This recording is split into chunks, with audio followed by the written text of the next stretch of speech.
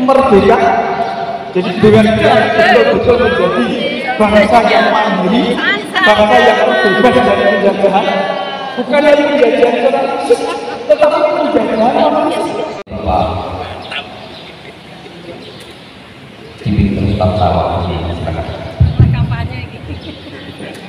Assalamualaikum warahmatullahi wabarakatuh. Dan kedua bagi kita bagi teman-teman dari tiga dapil, ibu bapak sekalian, bakal anggota legislatif, kita panjatkan syukur kehadirat Tuhan Allah Subhanahu Wa Taala atas karunia-Nya di pagi siang yang cerah indah ini mereka berkumpul di tempat ini dalam keadaan sehat tidak kurang untuk itu terima kasih atas amin. Untuk itu sekali lagi terima kasih atas kehadirannya. Terima kasih kepada DPW yang kalau masing-masing dapil minimal satu maka harapan kita akan terisi enam anggota dewan di banyak kejauhan hampir waktunya mepet karena tinggal beberapa saat. 14 Februari 2024 tinggal beberapa bulan saja.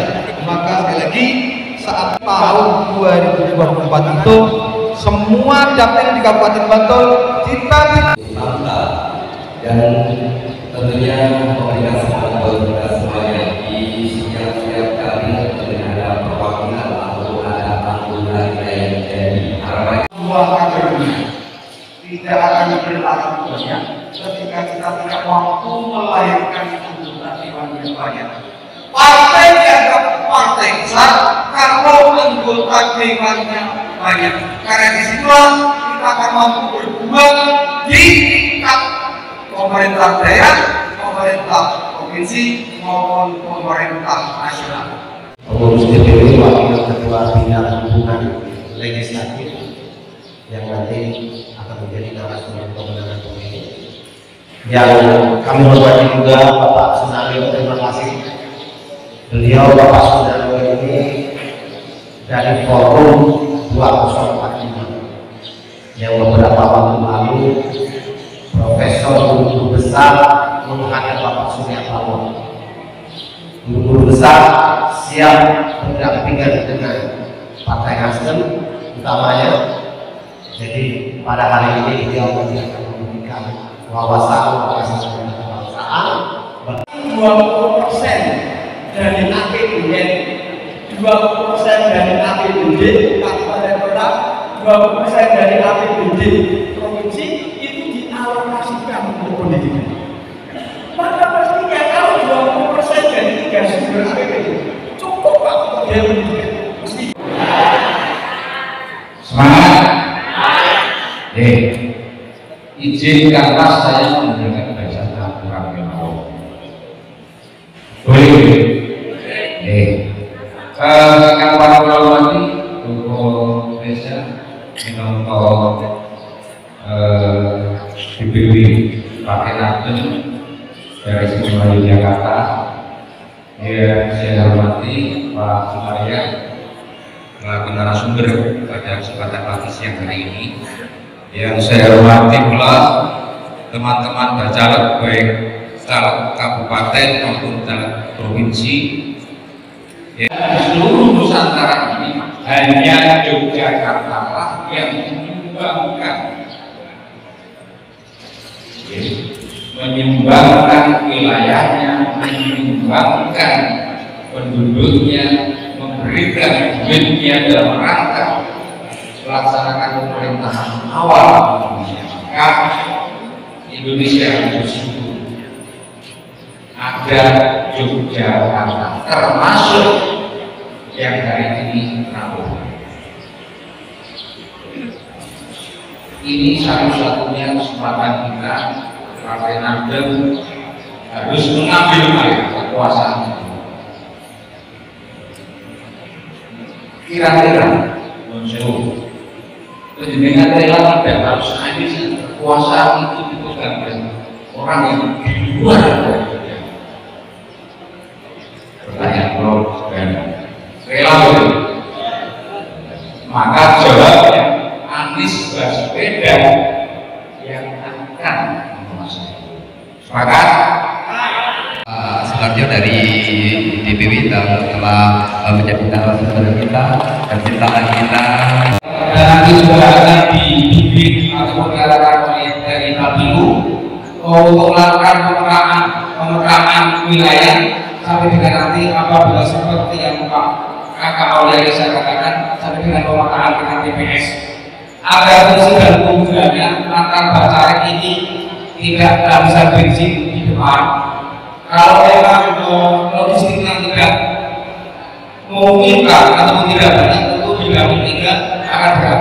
Oleh karena itu saya mengajak kepada baca yang bidang tiga dan juga teman-teman struktural BPJ di tingkat Kamarewon untuk memetakan di 2024 ini secepatnya. Saya kira ini cuma ajakan bukan pertanyaan. Terima kasih. Assalamualaikum warahmatullahi wabarakatuh. Dan dibuki ya Pak ya. Tapi masyarakat sekarang banyak melihat koruptor. Sering korupsi orang sak juta, juta, juta, bahkan miliaran ya Bu. Kalau kita sama Pak, gegedek kok ya Pak, nanti Mbak malah kita jeblok ya Bu. Nih Ibu, dengan kekayaan yang kita miliki, kalau tidak salah, orang Indonesia kita sesuatunya modal meganet senjata 20 juta kalau tidak salah, makanya salah. Itu nganggur. Lah kenapa laki-laki boleh bertangan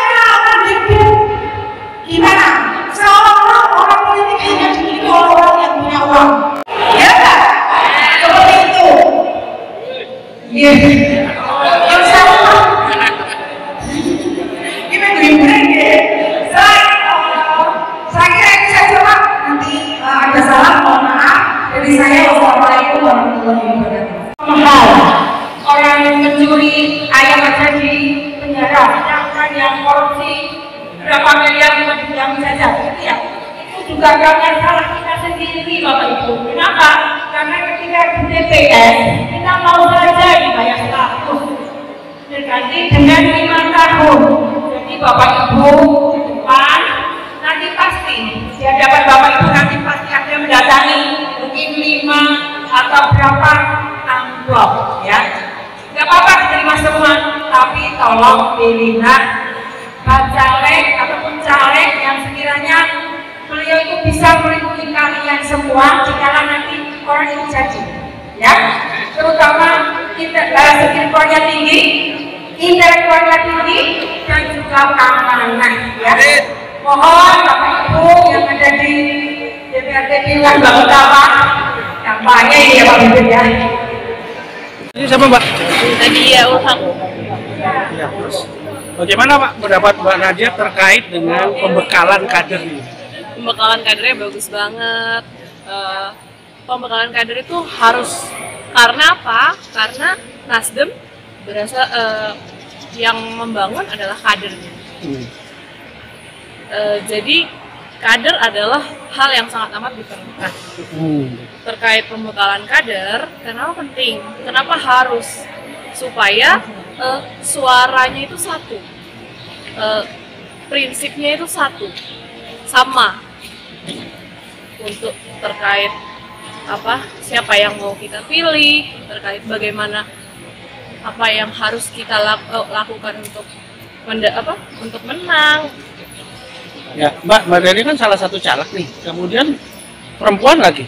Nah, bagaimana eh, perempuan itu harus apa membuat partai ini ber berdaya dan punya keunggulan sebetulnya apa yang akan digagas oleh Mbak?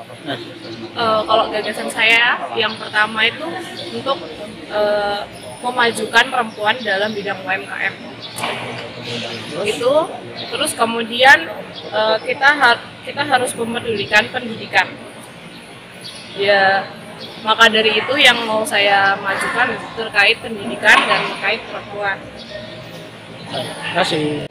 Eh, baik, terima kasih. Jadi pembekalan ini, pembekalan ini dalam rangka eh, kita mampu menyempurnakan struktur partai. Kita akan menjadi tahu strukturnya terlengkapi dari DPD, DPC, DPRT sampai ke kader tingkat pendukuhan. Dengan sempurnanya struktur partai itu dengan pemahaman yang sempurna pula, maka ini akan menjadi eh, kendaraan, akan menjadi tumpangan kita untuk menuju ke kemenangan di 2024. Alhamdulillah semua dapil, semua kapanewon, semua kelurahan, semua pendukuhan terpenuhi, selesai. Jadi kira-kira seperti itu, Mas. Baik, Pak Mas Reza, pesan-pesan dari pusat atau DPW? Ya, siap Mas Wijo. Kita ketahui bersama bahwa 14 Februari tahun 2024 sudah sebentar lagi, kalau dihitung hari sekitar 140 hari lagi. Artinya bahwa kami di daerah atau DPW dan DPD diinstruksikan oleh pusat untuk satu, segera memberikan pembekalan kepada kader-kader kami mulai dari tingkat DPW, DPD, DPC sampai DPRT dan sampai ke saksi TPS harus 100%. Lalu instruksi yang berikutnya karena alhamdulillah tadi malam sudah dideklarasikan bahwa Bapak Anies Baswedan dan Bapak Muhaimin Iskandar insya Allah sudah siap berlayar dan kita mempunyai tiga partai koalisi, Partai Nasdem, Partai PKS dan PKB. Kami juga sudah diinstruksikan untuk segera berkoordinasi untuk mempersiapkan tim pemenangan, bicara soal strategi dan sosiologi daerah dan lain sebagainya. Dan ini sudah mulai kami komunikasikan. Trisula, Trisula. Ya, jadi harapan kita dengan kekuatan Trisula, ya. Trisula itu Partai Nasdem yang di tengah, nasionalis, kemudian yang tombak yang paling sebelah kiri adalah PKB, tombak sebelah paling kanan adalah PKS. Kayak Aquaman. Iya, kenapa? Karena memang eh, PKB dia lebih ke Islam tradisional, kemudian PKS lebih kepada Islam modern, dipersatukan dengan semangat nasionalisme Partai Nasdem. Trisula. Baik, terima kasih. Pak Bibit targetnya apa nih? Targetnya masing-masing dapil terisi, baik dapil kabupaten dengan 6 maupun dapil provinsi di Bantul Barat 1, Bantul Timur 1. Dengan seperti itu maka kemenangan kita akan menjadi sempurna. Terima kasih kedua anak nasib